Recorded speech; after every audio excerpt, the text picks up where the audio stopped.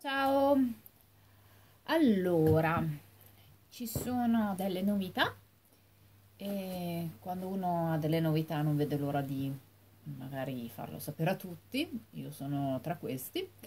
Dunque, innanzitutto saluto la mia mamma che ha avuto dei problemi di salute, però nelle ultime analisi del sangue sono andate bene, quindi brava mamma, continua a lottare.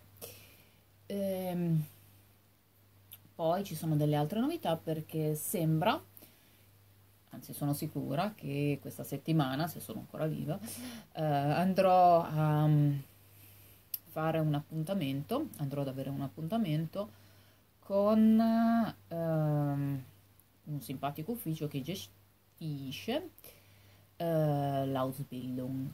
Quindi... Mm, saprò di più e riceverò maggiori informazioni perché finora ho fatto dei colloqui ma molto generali quindi a questo punto ci sarà la Camera dell'Artigianato che parlerà con me e mi aiuterà mh, mm, ulteriormente. Nella mail è stata anche molto gentile, mi ha dato anche degli indirizzi internet ulteriori per avere notizie, quindi giovedì ho l'appuntamento e vediamo un po' come, come andrà.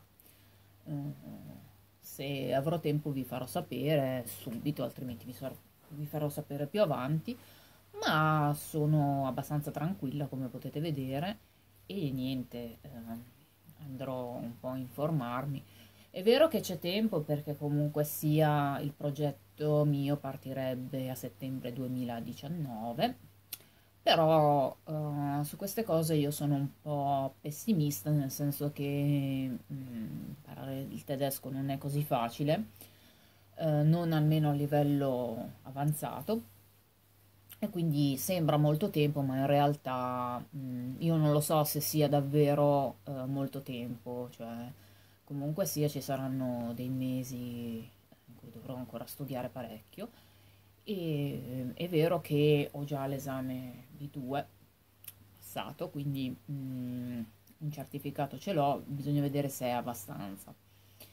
Se non fosse abbastanza dovrò fare esami ulteriori, se è abbastanza comunque io vado avanti a studiare tedesco per preparazione diciamo generale perché comunque mh, mm, dovrò avere a che fare con il linguaggio tecnico.